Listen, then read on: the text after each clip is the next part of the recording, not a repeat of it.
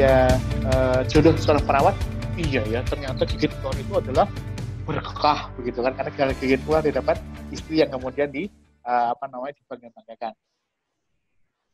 Nah, gimana caranya adalah next Mas. Teman-teman, sering kali kita kalau kena bencana itu apa? Seringkali kita ini pakai sudut pandang sebagai korban. Seringkali pakai korban itu senangnya sedih begitu kan. Senangnya menikmati kesedihan. Sehingga kalau kita mau jadi juara, kita harus pindah jadi pahlawan. Kalau kita perhatikan film-film apa uh, Avenger teman-teman, itu kan ketika ada sebuah apa ketika diserang begitu, nah itu kan tidak ada tuh para Avenger kemudian ngerumpi, Ih, kok bisa gini ya? Kayaknya kita nggak mampu deh, nggak begitu. Tapi dia, dia langsung kemudian berpikir, oke okay, kawan, saatnya kita bereaksi, saatnya kita kemudian beraksi, dan saatnya kita menyelamatkan dunia gitu kan sama-sama diserangnya musuh gitu. Tapi ketika jadi korban ya sudah ngeluh, kesah segala macam. Tapi ketika menjadi pahlawan dia akan berpikir harus ngapain ya. Nah, hikmah positifnya apa? Nah, uh, teman-teman semua sering kali mungkin sekarang kita merasa bersedih, sering kali kita masa terpuruk, bisa jadi mungkin karena kita sering kali ngambil sudut pandang dari korban, bukan sebagai pahlawan. Next, Mas Dad.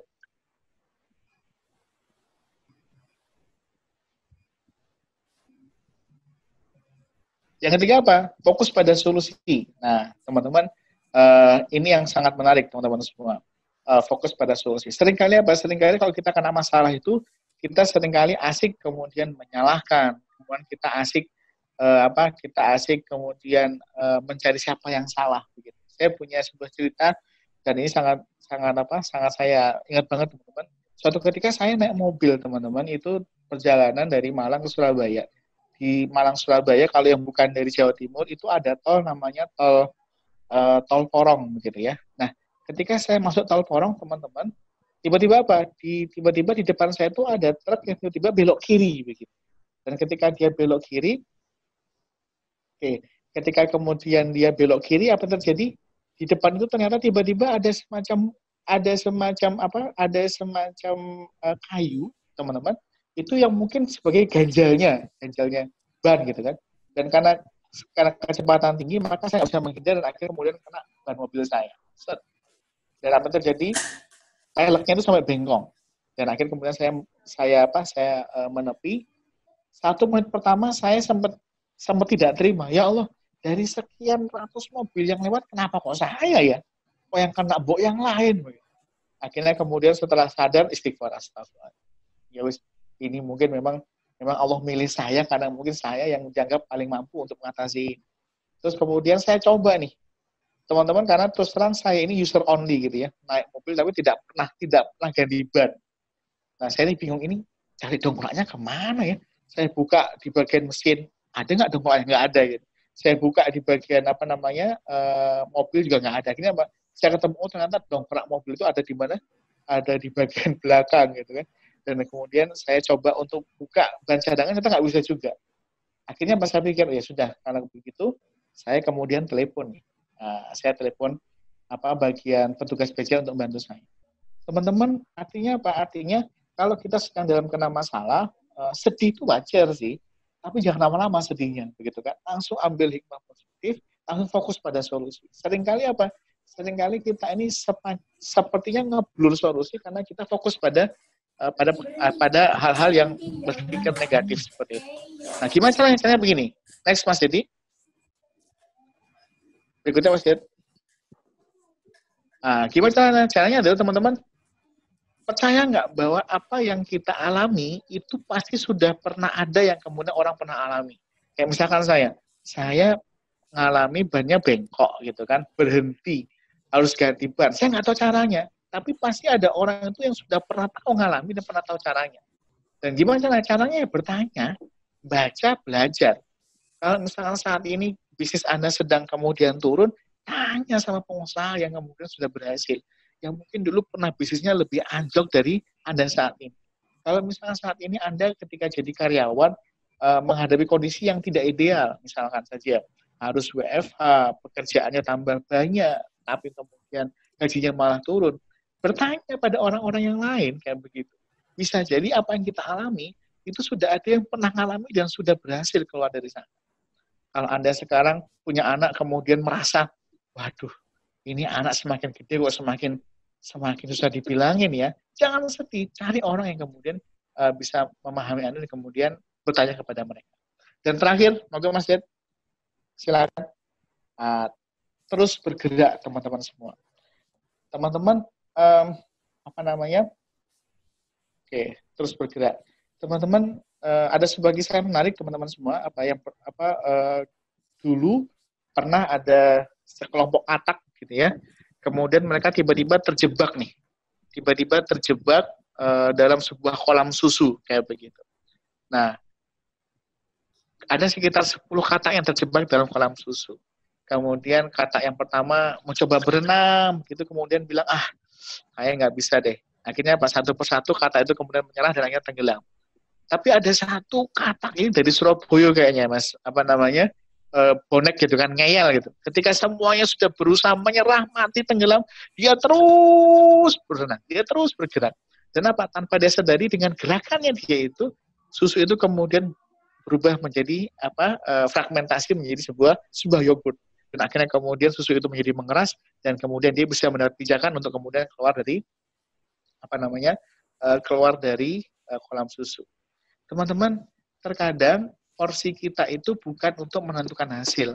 Tapi apa? Kita itu porsinya adalah terus bergerak, teman-teman semua.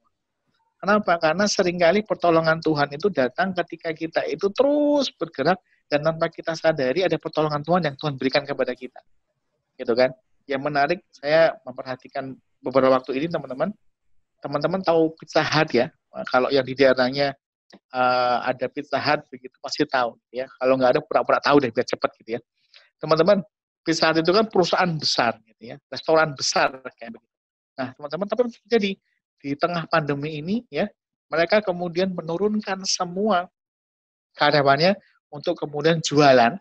Tapi apa jualannya versi kaki lima begitu ya. Di jalan-jalan, naik motor, kemudian pasang papan, empat apa empat pieces seratus ribu segala macam dan itu menurut kita nggak masuk akal. Tapi yang terjadi itu kemudian mereka lakukan dan itu berhasil teman-teman semua. Saya pernah ngobrol dengan salah satu manajer outlet uh, apa namanya Pizza dengan seperti itu teman-teman itu mereka bisa mengembalikan omsetnya 40% lebih kayak begitu.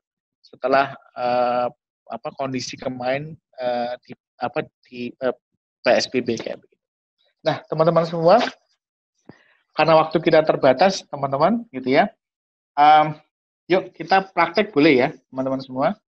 Oke, okay. nah gimana caranya? Caranya next mas, mas, mas Jadi. Oke, okay. uh, eh, gimana cara terus bergerak teman-teman? Caranya gampang. Apa? Lakukan yang terpikir saat ini termudah dan termungkinkan tanpa ditunda-tunda lagi teman-teman semua. Gak usah pakai mikir, gak usah pakai lama. Hashtagnya apa? Hashtagnya buh pie carane, apa pun caranya yang penting halal lakukan kayak begitu. Nggak usah berandai-andai waduh aku dulu tuh begini nggak usah deh. Apa sekarang gimana cara kita terus bergerak?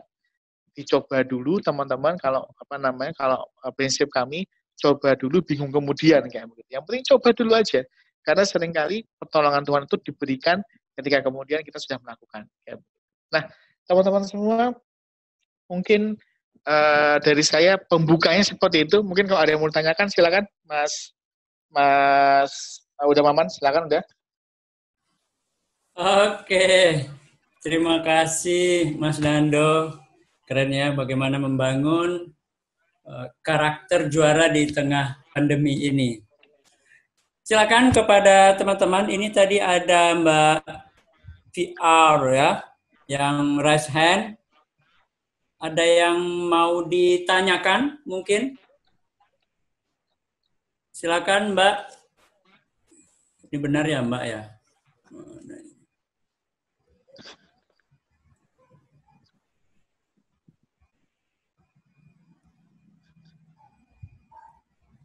Halo, ada?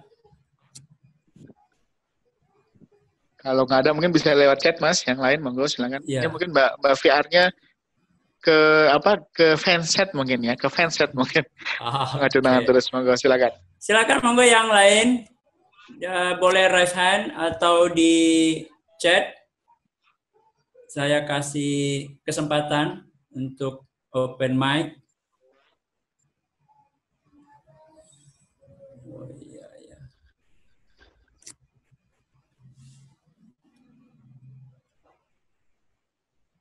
Ada ini rame ini ya pesertanya. Kita ada 50 peserta di ruangan ini.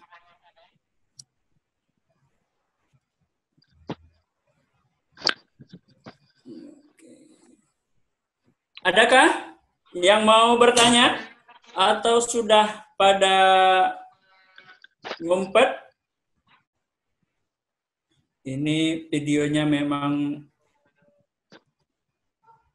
udah nggak kelihatan orangnya ya. Pak Eri mungkin ada yang mau ditanyakan Pak Eri?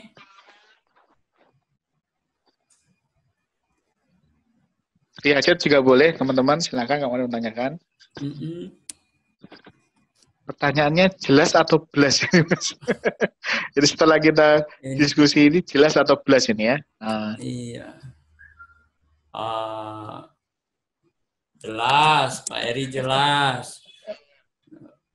Dari Pak Pastri Pristiawan, Neskot, lakukan yang terpikir, termudah, termungkin, tanpa tunda. Eh, ngejel banget itu ya.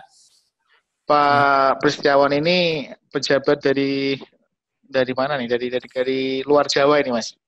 Oh, Teman okay. belajar saya di kuliah ini kayaknya, Pak Pristiawan. Oke, okay, oke. Okay. Jelas mantap okay. Pak Eri. Pak Eri ini mantap-mantap terus ya. ini seperti nonton sudah paham semuanya salah ya. Iya. Oke. Okay. yang penting halal. Mbak Ida ya.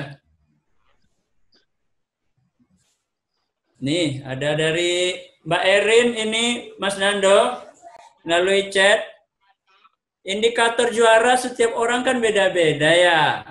Lalu untuk mengatakan diri ini adalah juara, apa ya Mas Nando? Oke, baik. Silakan, monggo Mas Nando. Oke, terima kasih Mbak Erin. Mbak Erin ini penyiar kondang dari Jogja ini ya. Kayak begitu. Jadi kalau teman-teman kalau misalkan mau apa namanya, mau belajar tentang penyiaran, nah monggo silakan undang Mbak Mbak Mbak, Mbak Erin ya begitu. Uh, beliau ini uh, penyiar favorit dari Jogja.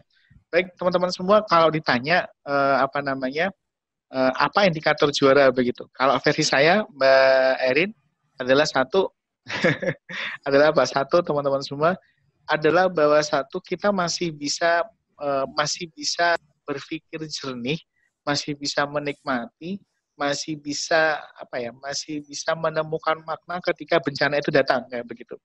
Jadi ketika ada bencana itu datang, kalau bahasa Jepangnya tidak gupuh gitu ya jadi nggak nggak kupuh kayak begitu.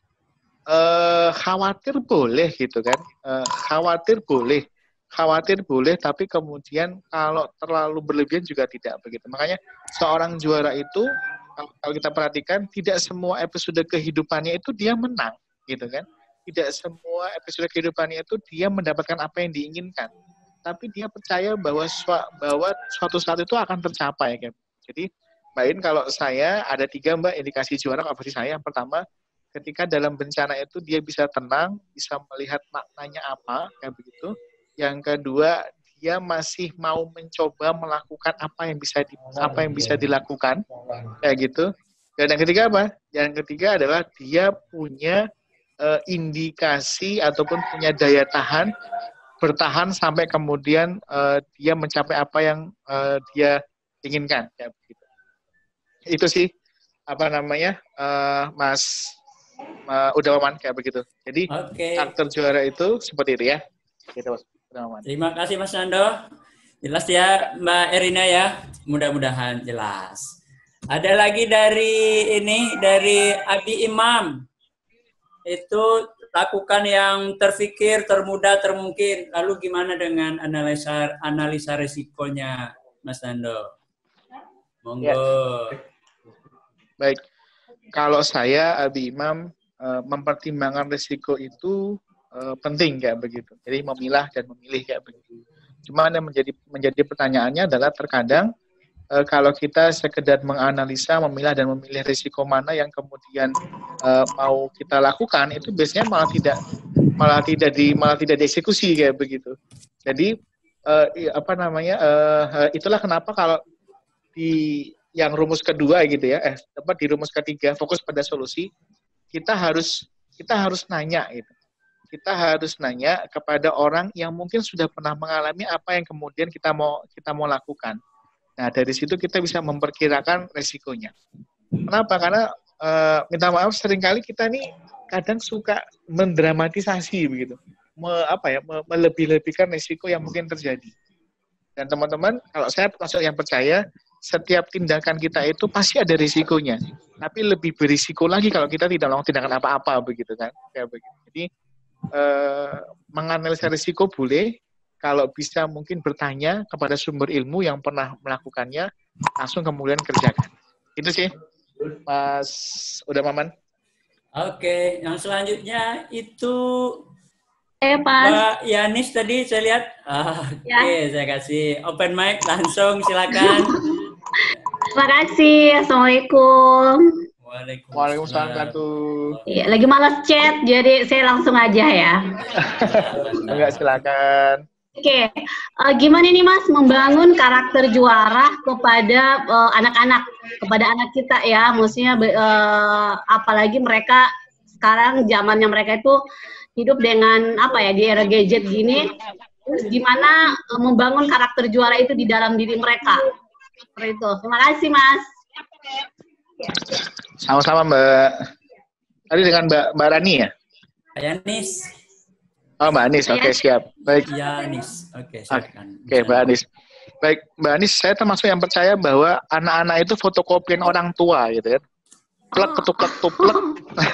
plek ketuplek tuplek uh, apa namanya? Pokoknya apa ya? Mepet plek pokoknya orang tuanya. Jadi kalau misalkan kita merasa anak kita kok tidak juara ya, gampang ngeluh ya. Jangan-jangan kita mencontohkan seperti itu apa namanya Bu apa Bu Yanis ya begitu. Tanpa sadar kita itu sering ngeluh dan dilihat sama anak kita. Ah, saya ki sekarang susah nah, hidup lagi susah. Bapakmu kerjaannya juga lagi mampet segala macam. Dan itu terekam loh Bu sama anak-anak kita begitu kan. Uh, kalau misalkan kita bilang uh, anak anak kita kok ani ya, kok senengnya main gadget kayak begitu, apa-apa kok gadget segala macam. Ya karena kita juga nyontohin sih Bu, begitu kan. Sebagai orang tua kalau boleh jujur bangun tidur kita itu megangnya HP begitu ya. Mau tidur megangnya HP kayak begitu. Bahkan saya sering guyon kalau misalkan nanti kita meninggal jangan-jangan yang doakan tuh HP gitu kan anak kita gitu. Nah sehingga apa? Kalau saya belajar dari salah satu guru kehidupan saya kalau kata beliau mas terkadang kita perlu ngasih kurikulum kesengsaraan buat anak-anak kita kayak begitu jadi apa jadi tidak semua yang mereka minta kita kasih tapi kita harus ngasih syarat nih, misalkan uh, anak saya yang paling kecil itu usianya 4 tahun bu, kayak begitu. Jadi saya bilang begini, uh, apa namanya, sama juga anak kecil pasti sukanya nonton YouTube ya. Nah, saya bilang uh, namanya Siva, di Siva boleh nonton YouTube, nonton YouTube lagi nonton YouTube, kok be YouTube, nonton YouTube. Kalau apa? Kalau satu nggak apa namanya mau pipis di kamar mandi. Yang kedua bantu bersih-bersih dan segala macam kayak begitu. Sehingga dia itu punya apa ya bu ya punya effort dalam dirinya. Tidak ada sesuatu yang bisa didapatkan dengan mudah. Harus ada usaha kayak begitu. Itu yang kemudian bisa bisa apa namanya bisa bisa dijadikan uh, apa namanya referensi gitu ya dan juga orang tua juga harus harus nyontohin bu terkadang maaf kita ini sebagai orang tua kadang mentang-mentang loh apa-apa main surah suruh surah suruh anak kita gitu kan lagi makan, tinggal ngambil minum itu suruh anak kita. Eh, kalau ambil minum dong. Nah, itu tuh juga itu, itu juga akan dicontoh sama anak kita begitu. Nah, itu sih menurut saya, Bu. Jadi eh, apa namanya? Kalau saya kuncinya dua kalau untuk anak-anak. Yang pertama adalah kasih contoh dari kita orang tuanya. Yang kedua, mungkin bisa diberikan kurikulum kesengsaraan kayak gitu ya. Mendapatkan sesuatu harus ada upaya terlebih Itu sih Bu Yanis. Semoga Oke, terima kasih. Oke, sama-sama. Terima kasih Bu Yanis. Terima kasih ini udah Mama. Iya. Ya, ini masih ada dari Mas Husnul. Mas Nando, kata beliau ya, ini, apakah karakter juara ini munculnya itu hanya saat-saat terdesak, seperti bencana, mental yang terburuk, atau bagaimana?